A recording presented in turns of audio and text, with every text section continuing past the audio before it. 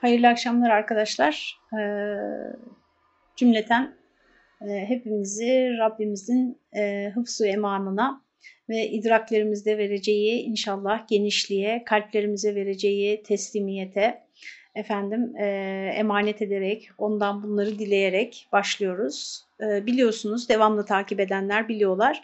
Neml suresinde 15. ayetten 31. ayetin sonuna kadar olan bölümü e, sizlerle okumaya çalışıyoruz. E, maalesef her hafta sadece birer ayet okuyabildik. 15 ve 16. ayet-i kerimeleri okuduk tefsirini sizlerle. Şimdi 17. ayet-i kerimedeyiz. Fakat şöyle kısaca bir hatırlayalım nelerden bahsedildi 15 ve 16. ayetlerde. Mealini okuyacağım sadece. Elmalı Hamdi Yazır'ın tefsirinin orijinalinden okuyoruz. Hak Dini Kur'an Dili tefsirinin orijinalinden. Şanım hakkı için Davud'a ve Süleyman'a bir ilim verdik. İkisi de Allah ikisi de hamd o Allah'a ki dediler. Bizi mümin kullarından birçoğunun üzerine taftil buyurdu. Bu 15. ayet. Ve Süleyman Davud'a varis olup ey Nas dedi bize mantıkut tayr, kuş dili talim buyuruldu. Hem bize her şeyden verildi. Şüphesiz ki bu her halde o fazlı mübin. 16. ayet. Şimdi 17. ayete başlayacağız arkadaşlar. Elhamdülillahi Rabbil Alemin. Ve salatu ve selamu ala Resulina Muhammedin ve ala alihi ve sahbihi ecma'in. Ee, geçen hafta uzun uzun e, mantıkut tayrın e, kuş mantığı, daha doğrusu hayvanların e, mantığını bir insanın öğrenmesi mümkün mü? Bundan bahsetmişti Elmalı Hamdi Yazır. E, ve bunun e, antik çağlarda bilhassa insanlar için çok e, imrenilen bir şey olduğunu, hatta işte bir hayvana dönüşebilmek için e, çeşitli ritüeller, törenler düzenlediklerini, çünkü e, o hayvanın özelliklerinin hayvana dönüşmekten kasıt yani aşağılamak anlamında değil, e, hayvanların o e, insanda olmayan becerilerine sahip olan bir insan olabilmek e, için yapıyorlardı bunu. Bunlardan biraz bahsettik. İşte Cenab-ı Hakk'ın Hazreti Süleyman'a e, bu ayette mesela karıncalarla e, konuşmasını göreceğiz. Konuşma demeyelim ona e, bir iletişim yani artık bu konuşma yoluyla olur, telepati yoluyla olur, e, işte zihinler arası e, ilişki zaten e, telepati o demek. E, bizim bilmediğimiz, dolayısıyla isimlendiremediğimiz bir yolla olabilir ama e, şunu biliyoruz ki Hazreti Süleyman e, hayvanlarla anlaşabiliyordu. Yani onların e, kendi aralarındaki iletişimlerini e, anlayabiliyor ve onlarla kendisi de iletişim kurabiliyordu. Şimdi 17. ayette Hazreti Süleyman'ın ordusundan bahsediliyor. Ve huşira li Süleymane cunuduhu. Süleyman'ın ordusu toplandı. Yine de e, mealden bakalım. Hem Süleyman'a cinnü ins ve tuyurdan orduları toplandı. Ve huşira li Süleymane cunuduhu minel cinni vel insi ve dayri. Cinlerden, insanlardan ve kuşlardan olan ordusu toplandı. Bunu gözünüzün önüne getirebiliyor musunuz? Şimdi buradan e, bir e, efendim kulakları çınlasın bir dostumuz öyle derdi demişti benim hayallerimden birisi de Kur'an-ı Kerim'de ve işte diğer kaynaklarda anlatıldığı kadarıyla Hazreti Süleyman'ın hayatını film yapsak yani ne acayip fantastik bir film olurdu demişti. Hani bizim bildiğimiz biliyorsunuz bir takım fantastik bilim kurgu veya filmler var. Onlardan ne kadar farklı, ne kadar derin içerikleri var Hazreti Süleyman'ın hayatının arkadaşlar Kur'an-ı Kerim'de anlatıldığı kadarıyla. Yani bizim elimizde e, müthiş müthiş çok büyük bir malzeme var arkadaşlar. Ama hani bazen insanın her şeyi olunca ne yapacağını bilemez ya kendimizi ona benzetiyorum. Yani işte çok kıt imkanlarla elinde birkaç şey olan kişi onları onun kıymetini çok iyi bilip e, o elindekilerin kıymetini çok iyi bilip böyle ondan çeşit çeşit şeyler üretebilir. Çünkü sadece o 2-3 şey var elinde zaten. Hani onu çok iyi kullanması gerektiğinin bilincinde. Dolayısıyla onu böyle çok idareli kullanarak çok hani bu tabirimi de hoş görün yaratıcı bir yaklaşımla ondan çeşit çeşit şeyler üretebilir o birkaç malzemeden. Ama bazen de elinde her şey olan kendinden o kadar emin olur ki o kadar başı dönmüştür ki o zenginlikten o, o işte bolluktan e, kalkıp da bir şey yapmaz yani artık hani şey olmuştur yani bıkmıştır adeta. Biz e, kendimizi ona benzetiyorum yani kıssalar ayrı bir zenginlik, efendim e, hakikatin anlatıldığı kaynaklar, elimizde hadis kaynakları e, ayrı bir zenginlik, efendim tasavvufi bakış açısı ayrı bir zenginlik, o alanda yazılmış binlerce eser, efendim İslam filozoflarının yazdıkları, çizdikleri ayrı bir zenginlik. Yani nereden baksanız hani edebiyatta, sanatta, sinemada, e, her türlü sanat dallarında yani. Sanatın bütün dallarında e, muazzam bir e, servetin üzerinde oturuyoruz arkadaşlar. Ama hani onu böyle eşim eşmeye bile üşeniyoruz. Yani öyle bir artık hale gelmişiz ki onu böyle eşmeye bile üşeniyoruz. Bir de tabii e, hep de kendimizi suçlamayalım. Biraz da e, o o hazineden kuşkuya düşürülmüşüz düşürülmüşüz. Yani orada da tabii e, hani e, zihni ifade edilenin hiç mi kabahati yok? Yani burada da bir öz eleştiri yapmalıyız ama siz bana bakmayın ben her zaman öz eleştirinin dozunu kaçıranlardanım. Efendim e, yani kendi servetinden, kendi hazinesinden, kendi güçlerinden, kendi kabiliyetlerinden, kendi kapasitesinden kuşkuya düşürülen bir insanın e, mefluç bir şekilde yani felç olmuş hiçbir şey yapamaz bir halde ve benden adam olmaz düşüncesiyle böyle miskin miskin tembel tembel e, zamanını tüketmesinde hiç mi kendisinin payı yok derim ben ama e, işte çok, çok çeşitli sebeplerle biz bu durumdayız arkadaşlar ve haşira Süleymane cunuduhu işte gözünüzün önünde canlandırın e, bir film sahnesi gibi canlandırın. Bir ordu toplanıyor Hazreti Süleyman'a. Cinler var orduda, insanlar var ve kuşlar var. E, fehum yuze'un e, bunlar hep zaptu idare olunuyorlar. Hep hepsini yönetiyor yani Hazreti Süleyman. İşte şimdi bugün bu ayet-i kerimeden başlıyoruz arkadaşlar. Hoşira kelimesinin tefsiriyle başlıyor e, müfessirimiz merhum Elmalı. Haşir esasen halkı yerlerinden çıkararak nefiri am suretinde celbu ihzar edip bir yere toplamaktır. Nefiri am umumi seferberlik demek. Yani herkesi böyle yerinden kaldıran, herkesi bir araya getiren efendim bir hareket. Haşir bu demek. Bunun için kesret ve izdiham ifade eder. Haşirde çokluk var, kalabalık var, üst üste yığılma var. Ma mafi mutlaka toplamak manasına da gelir. Bir araya toplamak anlamında yani. Bu surette hazari vaziyette de vaziyeti de ifade edebilirse de asker toplanmanın seferberliği ifade etmesi daha zahirdir. Yani hazari demek e, seferi olmayan durumlardaki herhangi bir topluluğu mesela işte bugün için söyleyelim onu söylemiyor Elmalı Hamdi Yazır bilmiyor muhtemelen. Ya bilmez olur mu? E, Osmanlı son döneminde de var haşa ne kadar e, şey yaptım yanlış bir ifade kullandım. Bir miting de e, bir mitinge de haşir denilebilirse de e, özellikle konunun gidişatı bakımından ve içinde ordu kelimesi de geçtiği için tabii ki cunut kelimesi askerler kelimesi geçtiği için seferberliği ifade etmesi daha zahirdir. Sözün gidişi de bunu anlatıyor diyor. Minel cinni vel insi ve tayri. Cinnu ins ve Tayr'dan askerleri toplanmıştı. Sure-i En'am'da 112. ayet-i kerimenin tefsirine bakın diyor. Ve kedalike cealna li kulli nebiyyin aduven şeyatinel insi vel cin. Yani burada Hazreti Süleyman'ın e, destekçisi, onun e, adına çalışan bir ordudan bahsediyoruz. Cinlerden ve insanlardan oluşan. Ama En'am suresinin 112. ayet-i kerimesinde ise e, düşmanlar, peygamberlerin düşmanları ve kederlike cealna li kulli nebiyin biz her peygamber için adüven bir düşman kıldık.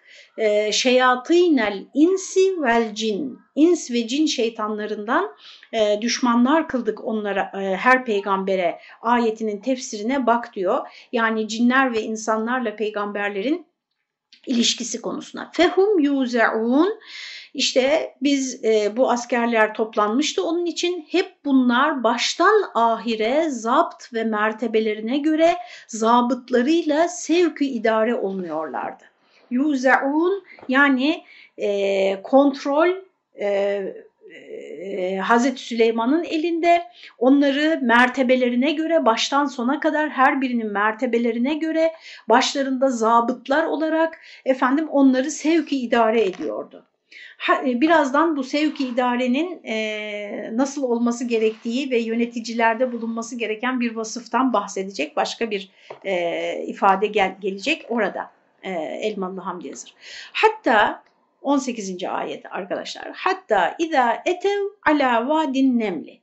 Hatta karınca vadisi üzerine vardıklarında. Şimdi burada hatta ile ilgili kısa bir bilgi veriyor. Bu güzel. Onun için hızlıca okuyalım. Hatta iptidaiyedir. Yani normalde cümlenin başında bulunur. Konunun başında daha doğrusu. Ta ki demek. Türkçedeki karşılığı. Bir kelamın başladığını göstermekle beraber aynı zamanda onun evvel, evvelki kelama bir nihayet de olduğunu gösterir. Yani hattadan önceki sözde anlatılan anlam sona erdi. Şimdi yeni bir şey başlıyor. Yeni bir evre başlıyor olayda. E, hayli gittiler hatta vadi neml üzerine vardılar demek olur. Tamam mı? Hatta'yı bu şekilde açıkladı. Şimdi ala vadin nemli e, kısmında cümlenin ala e, harfi cerinin kullanılmasından bakın nasıl bir e, mana çıkarıyor. Üzerine denilmesi de inmek üzere yüksekten geldiğini işaret eder. Yani bu ordu bir de gökten geliyor belki de. Yani e, bir telmih var ama açık bir ifade yok ayet-i kerimede. Vadi-i Neml Şam'da veya Taif'te veya Yemen'de Bakın gene Arap Yarımadası hani kuzeyden güneye Arap Yarımadası ve işte o Şam bölgesi e, söz konusu. E, zaten Hazreti Süleyman'ın da yaşadığı yerler, dolaştığı yerler oralar. E, karıncası çok bir derenin ismi olduğu söyleniyor. Mamafih Karınca Vadisi, Karınca Sahası gibi küçük hayvanat alemini tebadür ettiriyor. Yani sadece karıncalar değil, e, karınca boyundaki küçük e, canlıların, böceklerin çok olduğu bir yeri e, hatırlatıyor. Karınca küçük hayvanatta mesel ola geldiği gibi kanatlı kısmı bulunmak itibariyle uçanlar cümlesindendir. Yani karınca hem şimdi yanlış bir şey söylemeyeyim zoolojik açıdan emin değilim kontrol etmedim ama hem hani böcekler sınıfından e, haşerat kısmından hem de e, kanatlı kısmı bulunduğu için uçanlar cümlesindendir. Ve burada bu münasebetle zikrolunduğu söylenmiştir. Bu itibarla hatta mantık-ı tayra vukufun da bir gayesini ifade etmiş oluyor.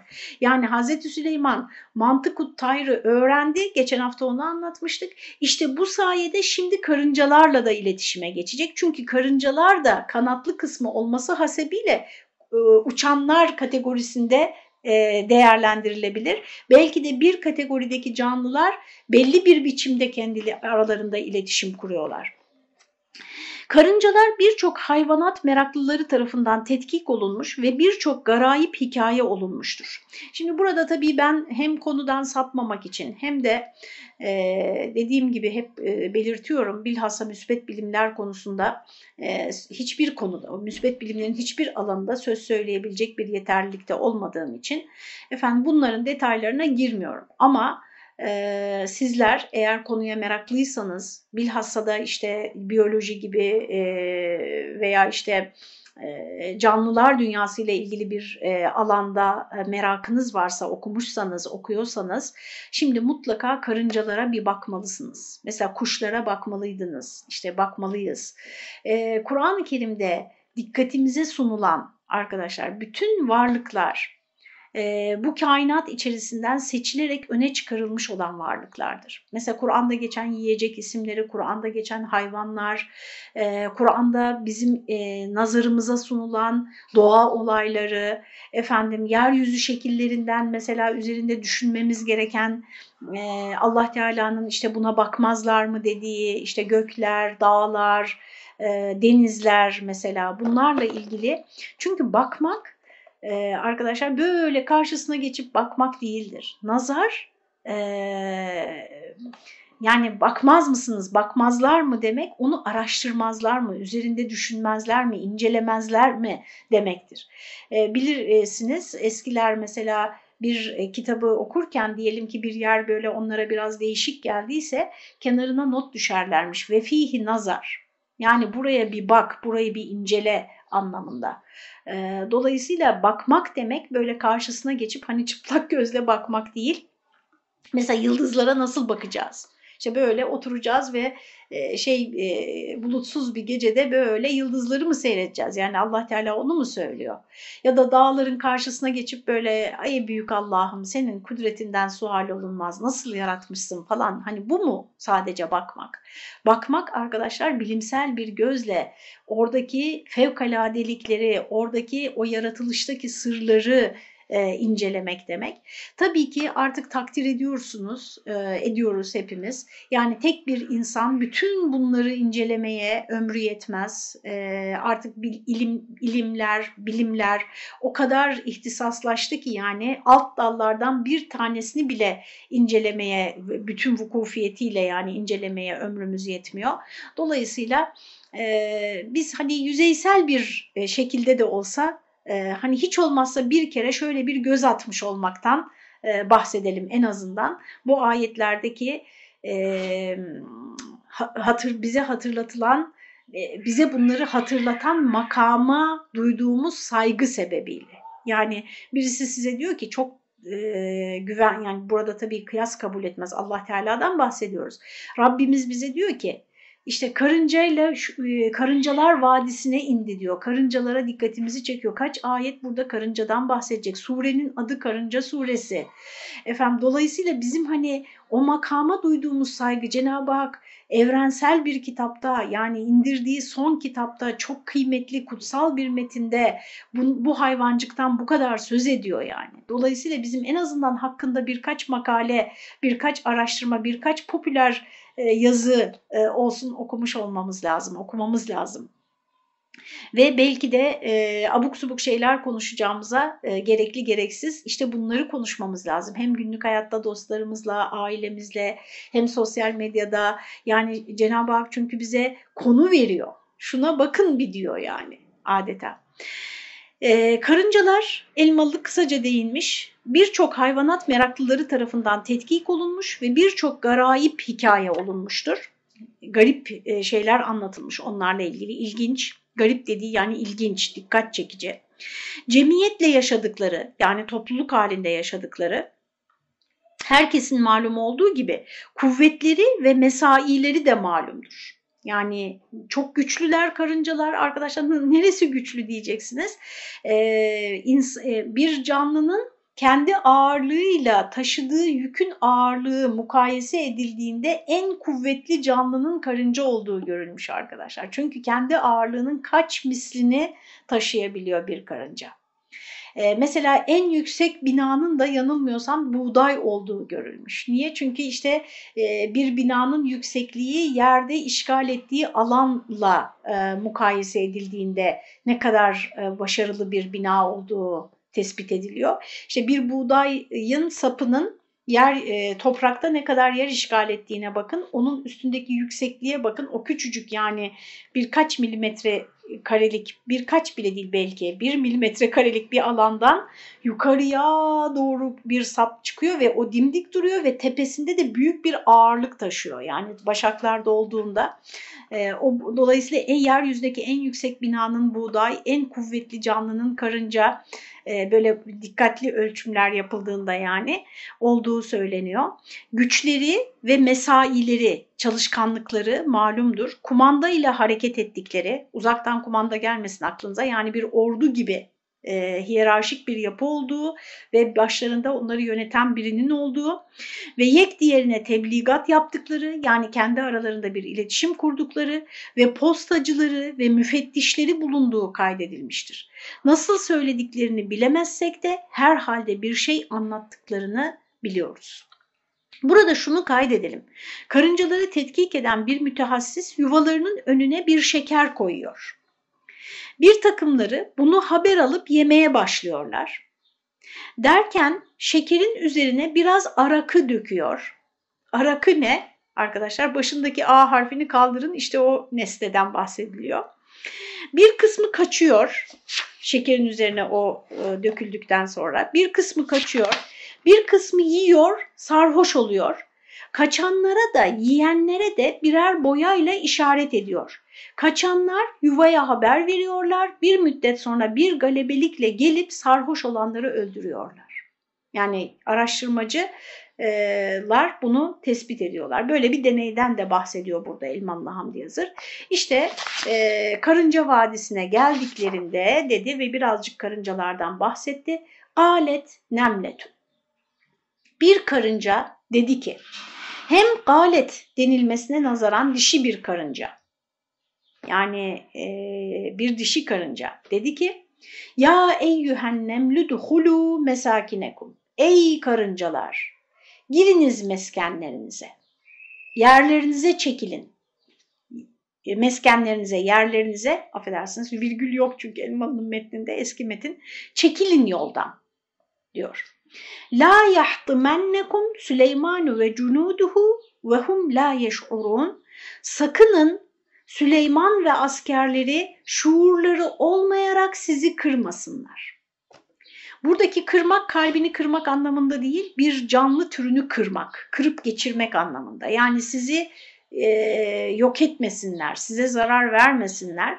Ama nasıl? La yeş'urun ve hum la yeş'urun farkında olmayarak diyor. Yani bile bile bir karıncayı sebepsiz öldürmezler ama farkında olmazlar da kırar geçirirler. Burada karıncanın Süleyman'ı tanıdığını, Süleyman'ın ordusunu bildiğini, daha doğrusu Süleyman diye bir şahsı demeyelim. Burada da bir peygamberden haberdar olduğunu belki de Allahu alem. Ve veyahut da bir ordu gelirken yani tamamen şu anda e, farazi konuşuyorum. Bir ordu gelirken efendim onların artık hangi hal ve hareketlerindense onların karıncayı bile incitmeyecek varlıklar olduğunu biliyor, anlıyor karıncalar. Nasıl anlıyorlar? Yani nasıl hayvanlar kendilerine zarar verecek olanı, vermeyecek olanı nasıl ayırt edebiliyorlar? E, mesela ben e, hayvanlarla maalesef e, çok teşriki mesaim olmadı. Biz şehir çocukları efendim e, köpekle kediyi ayırt edene kadar bile belli bir yaşa gelmemiz gerekiyor. Hatta e, bayağı yani yaşı 7-8 yaşlarındaki çocukların e, işte koyunlarla köpekleri ne bileyim eşekle atı ayırt edemediğini biliyoruz e, arkadaşlar. Dolayısıyla maalesef bu konuda bir kişisel tecrübemiz yok ama hayvanların içinde yaşayanlar, onlarla teşriki mesaileri çok olanlar, hayvanların kendilerine kötü muamele edecek olanla etmeyecek olanı, çok iyi tanıdıklarını, kendilerine güzel davrananları çok iyi ayırt ettiklerini, her bütün hayvanların yani efendim e, söylüyorlar. Karıncalar belki de algıları çok daha kuvvetli bilemiyoruz ve e, belki de görür görmez Süleyman ve ordusunun onları kasten yani aman ne olacak karınca ise ezin geçin e, diyecek e, insanlar, canlılar veya varlıklar, cinler de var onlar da canlı gerçi olmadıklarını fakat bilmeyerek, istemeyerek bunu yapabileceklerini e, düşünerek uyarıyor diğer karıncaları. Onun için yerlerinize çekilin de kendinizi kırdırmaya sebep olmayın diye edebü nezahet dairesinde hakimane bir surette maiyetini korudu ki burada ince bir karınca siyaseti vardır. Yani e, hani bir defa hani kendisini koruma ve tebaasını koruma veya işte teba o kraliçe arı şey miydi arı değil demeyelim bak kraliçe deyince hemen arı geldi aklımıza. Yönetici bir karınca mıydı? Yoksa işte içlerinden aklı evvel birisi miydi bir üyesi miydi karınca e, grubunun? Onu bilmiyorum. Fakat ne yapıyor? Sadece kendisi mesela kaçmakla kalmıyor bütün karıncaları uyarıyor. Bu da çok önemli. Burada da çok önemli mesajlar var. Efendim Fahrettin Razi der ki bazı kitaplarda gördüğüme göre o karıncanın diğerlerine duhulü emretmesi yani yuvalarına girmeyi emretmesi şunun içindir ki kavmi Süleyman Aleyhisselam'ın celaletini görürler de Allah Teala'nın kendilerine olan nimeti hakkında küfrana düşerler diye korktu. Burada öyle güzel bir incelik var ki arkadaşlar. Yani o Süleyman Aleyhisselam'ın ordusunu düşünün. Cinler, insanlar, kuşlar, e, belki bu üçü sayıldı. Belki bilmediğimiz daha nice nice varlıklar var Süleyman Aleyhisselam'ın ordusunda. Uçanlar, efendim yürüyenler, belki diğer hayvanlar bilmiyoruz. Efendim böyle e, celalli bir ordu yani hem çok güçlü kuvvetli hem çok muktedir efendim hem bütün varlıkları temsil eden onların hepsine hükmeden bir e, komutan var başlarında Süleyman Aleyhisselam. Onların celaletini görürler de o gücü, o azameti, o kudreti görürler de Allah Teala'nın kendilerine olan nimeti hakkında küfrana düşerler diye korktu. Kendileri de işte ayaklar altında kalıp ezilecek, kimsenin fark etmeyeceği yani iyi niyetli birinin bile fark etmeyeceği kadar küçük ve hani e, göze görünmez varlıklar Dolayısıyla e, Allah Teala'nın kendilerini niye böyle küçük hani tabirimi hoş görsün karıncalarda ezik, ezilmeye müsait, kimsenin dikkatini çekmeyecek varlıklar olarak yarattı bizi diye küfrana düşerler diye korktu. Sakının sizi kırmasınlar demekten muradı buydu. Yani kuvve-i maneviyenin kırılmasıydı. Yani kalplerinizin, kalplerinizdeki e, özgüveninizin, iç dünyanızdaki e, şükrün, Cenab-ı Hakk'a olan minnetin, şükrün, kendinin değerini bilmenin e, kırılması. Bundan bahsediyordu o karınca. E, girin meskenlerinize de sizi kırmasınlar diyerek. Şimdi arkadaşlar cümle, e, son cümleyi Elmalı Hamdi Yazır söylüyor.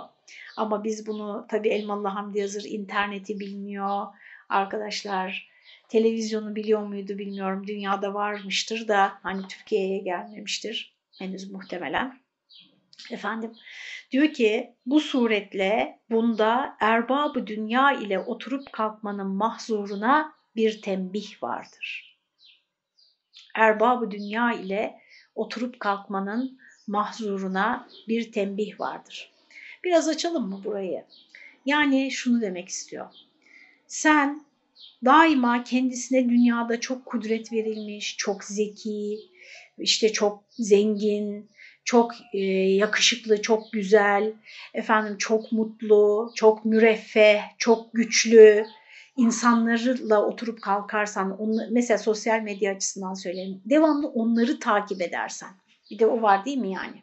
Öyle efendim öyle bir imaj sunuyor ki Hani gerçekte öyle olup olmadığını bile bilmiyoruz. Yani işte çok başarılı bir anne, çok sevilen bir eş, işte her şeyi çok yakıştıran birisi, her zaman çok şık, çok fit, çok güler yüzlü, çok sağlıklı besleniyor. Efendim ne bileyim çocuklarıyla iletişimi çok güzel, işinde, kariyerinde çok başarılı falan. Böyle bir e, tablo çiziyor size pek çok insan. Veya imaj olmasın gerçekten de Allah'ın böyle kulları olabilir. Ben yani insanların bu böyle kendini böyle gösteren insanların hepsi de yalan söylüyor diyemem. Hakikaten bazı insanlar Allah onlara daha büyük bir enerji vermiştir. Mesela ben bakıyorum günde 5-6 saat uykuyla yetinen, hiç de rahatsız olmayan insanlar var. Elbette onların başaracakları şeyler daha fazladır dünyada. İşte bazı insanlar mesela kolay kolay yorulmuyorlar, çok enerjikler e, hayal dünyaları çok zengin, çok geniş. Efendim bazı insanlar veyahut da daha dünyaya geldiklerinde çok avantajlı geliyorlar. İşte işleri güçleri görülüyor, önleri açılıyor, elleri tutuluyor. Daha dünyaya geldiklerinde yani muazzam bir çevrenin içine doğuyorlar. Herkes onları biliyor, tanıyor falan. Yani bir telefonla benim yıllarca halledemeyeceğim bir işi hallediyor. Dolayısıyla o insanlar daha e, büyük nimetler içerisindeler. Eğer bunlarla sürekli oturup kalkarsan kalbinde şimdi karıncanın kırılması e, ne demekti? Küfranı sana verilen nimetler hakkında kalbinde küfranı nimet duygusu oluşur. E, yani mesela devamlı diyelim ki Amerika'nın en zengin bir kesimi var. İşte diyelim işte nereyi iz, e, izliyorsun? Öyle diziler izliyorsun ki veya öyle filmler izliyorsun ki veya öyle hayatlar, öyle kişileri takip ediyorsun ki Amerika'nın o en tepedeki insanların hayatlarını izliyorsun veya dünyanın en zengin insanlarını izliyorsun. Tamam bunlar var gerçekten dünyada. Tamam da yani e, bizimle onlar arasında dağlar kadar fark var. E, bize de verilmiş bir takım nimet. Sonra bunu devamlı izlediğinde kendini hep e, gençlerle de bunu konuşuyorum. Daha e, dün e, bir gençle bunu konuştum. Yani kendini devamlı onunla mesela işte diyorum ki kendinizi Almanya ile kıyaslıyorsunuz. Kendi ülkenizi. İşte Amerika ile kıyaslıyorsunuz. Peki onlar kadar çalışıyor musunuz? Onlar gibi mücadeleci misiniz? İşte onlar gibi ne bileyim yani onların yaptıklarını yapabilir misiniz? E, bize de söylenen bir takım sözler vardı. İşte şunlar şunu yapıyor. Tamam da yani ben onların yaptıklarını yapamam ki. Benim değerlerim var, benim kriterlerim var, benim asla yapamayacağım şeyler var, yapmamam gereken şeyler var. Dolayısıyla ben kendimi onlarla kıyaslayamam. Ben bu imkanlar içerisinde ne yapabileceksem ona odaklanmalıyım diye düşünüyorum. E, bu tabii uzun bir konu, uzun uzun tartışılması gerekir. Sadece üzerinde düşünelim arkadaşlar.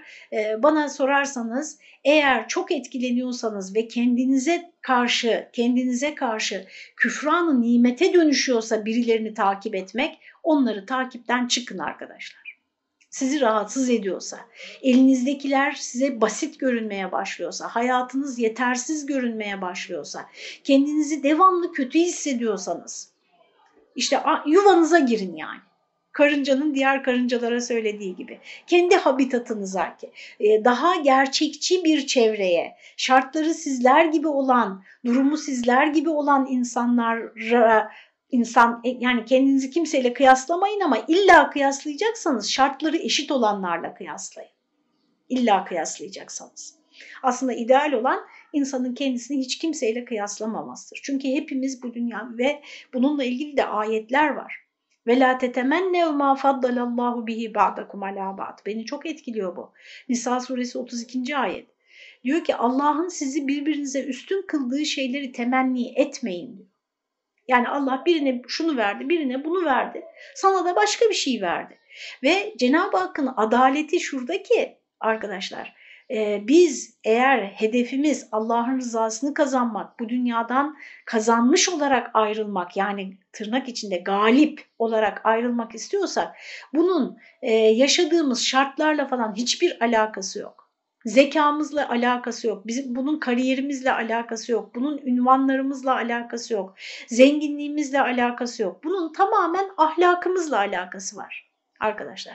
Ve o ahlak, o iman, o amel, iman, ahlak, amel bunlar birbirinden ayrılmaz bir bütündür. Efendim e, biri tercih edilemez yani illa birini tercih edeceksek öncelikle iman gelir tabii ki. Efendim bunlar e, zengininde, fakirinde, zeki olanında, daha vasat olanında, kariyerinde başarılı olanında, olamayanında, okumuşta, cahilde, kadında, erkekte herkesin başarabileceği şeylerdir. E, edinebileceği vasıflardır. Hiç kimse burada e, şey değil, mağdur değildir yani. Çünkü sizin kesbinizle alakalıdır. O da tabii orada da bazı soru işaretleri var ama artık geçiyoruz çünkü çok uzadı. Fetebesseme dahiken min kavliha 19. ayet. Onun sözünden bu sözü duyunca ey karıncalar, ey karınca e, ordusu diyelim. Girin meskenlerinize. Süleyman ve ordusu farkında olmadan sizi kırmasınlar. Bu kırmak acaba hani e, biyolojik olarak onu konuştuk. Biyolojik olarak onları yok etmek mi? Hani ezip geçmek mi? Yoksa onları gördüğünüzde kendinizde olanı küçümseyip onları büyük göre, görerek Cenab-ı Hakk'a karşı küfranı nimet edip iç dünyanızın e, kuvve-i maneviyenizin, manevi gücünüzün kırılması mı, güçlerinin kırılması mı iki yorumunda olduğunu söyledi. Sonra birisi gülüyor buna, bu söze. Fetebesseme, tebessüm ediyor.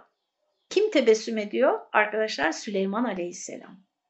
Fetebesseme dahiken min kavliha. Onun sözünden gülercesine tebessüm etti. Karıncanın kavmi hakkındaki tedbir ve siyaseti ve kendi askeri hakkındaki hüsnü nazarı hoşuna gitti. Hüsnü nazar ne?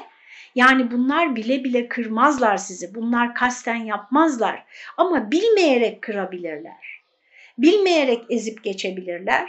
Ee, o yüzden siz en iyisi yuvalarınıza girin.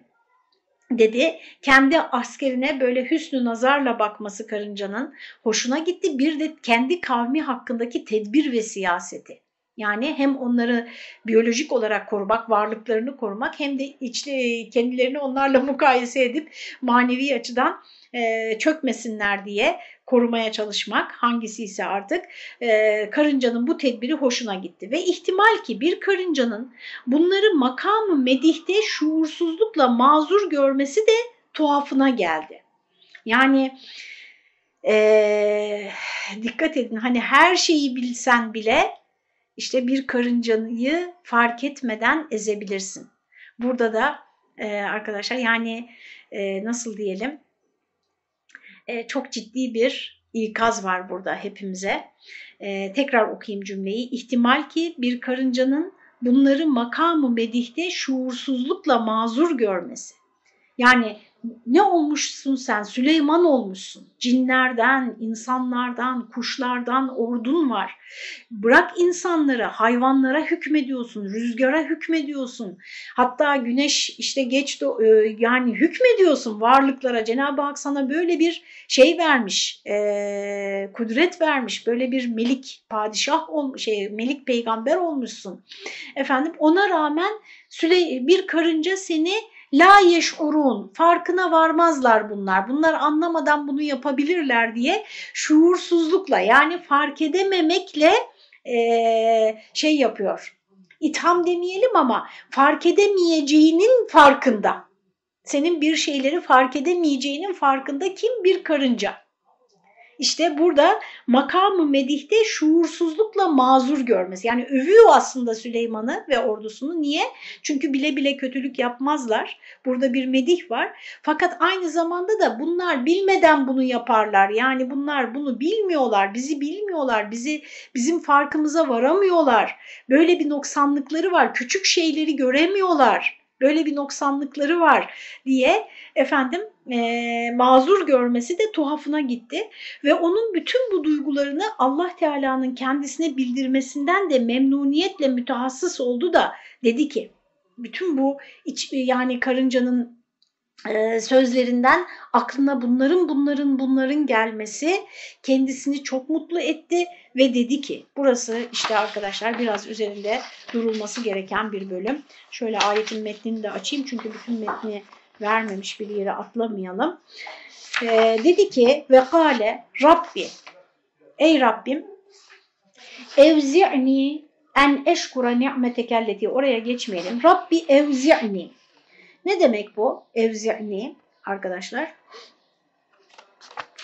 Hemen söylüyorum. Beni nefsime zabıt kıl. Beni nefsime zabıt kıl kendime hakim, nefsime zabıt kıl. Evzi'ni. Ee, şey de Mustafa Yıldız'ın mealinde, o da hoşuma gitti, söyleyeyim. Ee, dedi ki, içimde öyle duygular uyandır ki, demiş. O da öyle meal vermiş. Diğer bütün meallere de burada bakmak gerektiğini düşünüyorum. Rabbim beni nefsime zabıt kıl, e, nefsimde bilinçli, kontrol bende yani kendimle ilgili kontrol bu. Bakın bu kontrol meselesi de problemli bir konudur.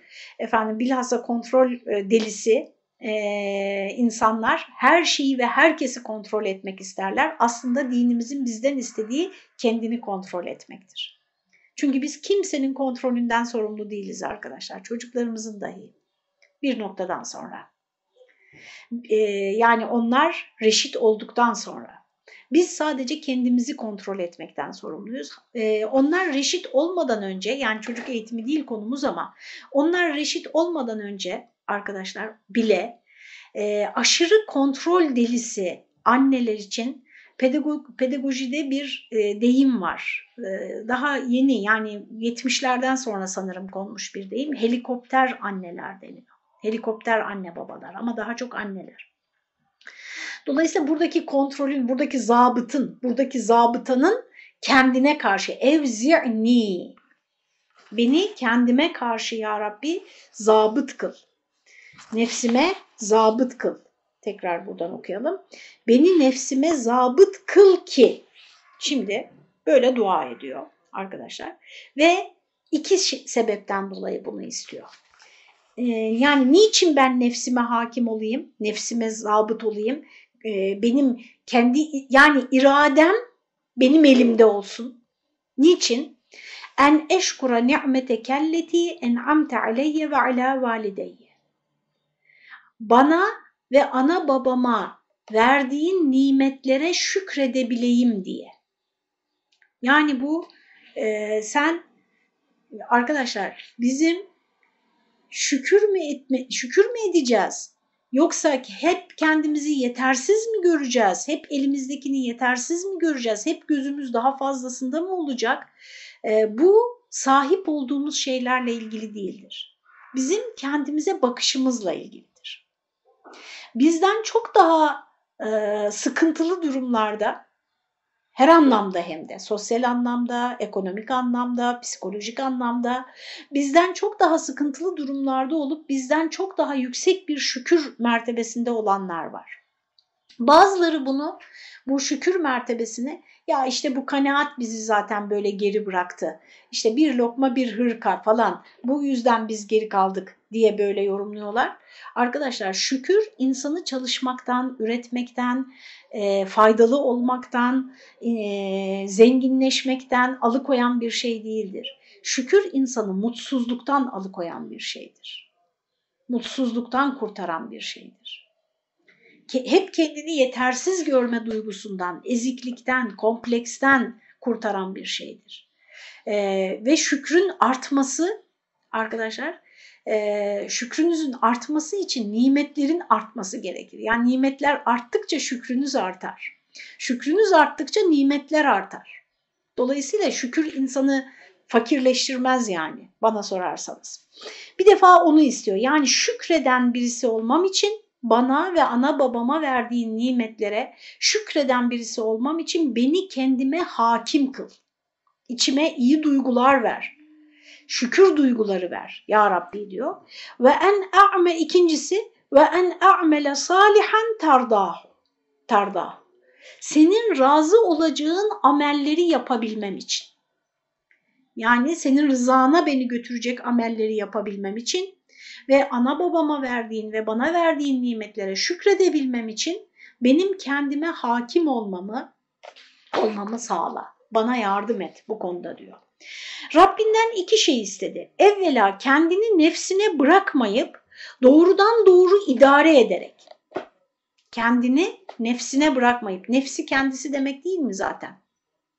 Kendini nefsine bırakmamak ne demek? Buradaki ne, nefis kelimesinin e, karşılığı o kadar çeşit çok ki arkadaşlar. Bir sözlük anlamı var, bir tasavvuftaki anlamı var, bir psikolojideki anlamı var. Farklı farklı anlamlar yüklendiği için ve bir, hep birbirinin yerine birçok şeyi kastederek kullanıldığı için bazen bir kargaşa doğuyor. Burada kendini nefsine bırakmaması demek benim anladığım yani ne buradaki nefis içgüdüler, kontrolsüz nefs yani e, eğitimsiz tarafımız. Kendin dediğimiz şey ise bunda aklımız var, inancımız var, karakterimiz var, ruhumuz var, bedenimiz var ve tabii ki o içgüdülerimiz de var. O hayvani tarafımız da var. Bunun tamamı. İnsanın kendi dediği şeyin tamamını e, hayvani içgüdülerine bırakması kadar kendisini helaka götüren başka bir şey yok. İşte beni nefsime bırakma. Bırakmayıp doğrudan doğru idare ederek nefsine vazu zabıt kılmasını istedi. Yani kural koyan ve devamlı e, hakim. Yani disiplinli, düzenli, efendim kendine hakim, nefsinin farkında, onu yönetiyor. O, onun yani o bilince ulaşmış. Ee, burada arkadaşlar bizim öyle ciddi problemlerimiz var ki bu konuda. Ee, mesela biz kendi içimizden gelen isteklerin, e, düşüncelerin e, veya işte vardığımız kanaatlerin e, nefsimizden mi yani o hayvani taraftan mı? Aklımız mı bunu söylüyor? İnancımız mı söylüyor? Ahlakımız mı söylüyor? Onu bile ayırt edemiyoruz ki nerede kalmış yönetelim yani.